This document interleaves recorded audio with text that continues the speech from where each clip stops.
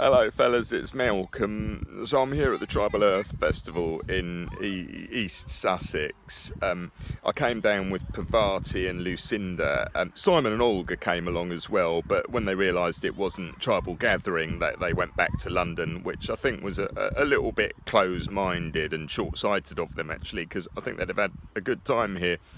Pavati's mainly here for the yoga. She's doing Kundalini this morning, and um, Lucinda's mainly here for the arts and crafts. I thought I'd sort of balance out my experience with a little bit of culinary uh, workshops and, and a bit of music as well. So I'm going to do something on, on good mood foods uh, this morning at one o'clock. Although it does clash with drumming, which I also quite fancy, so I might have to toss a coin. Um,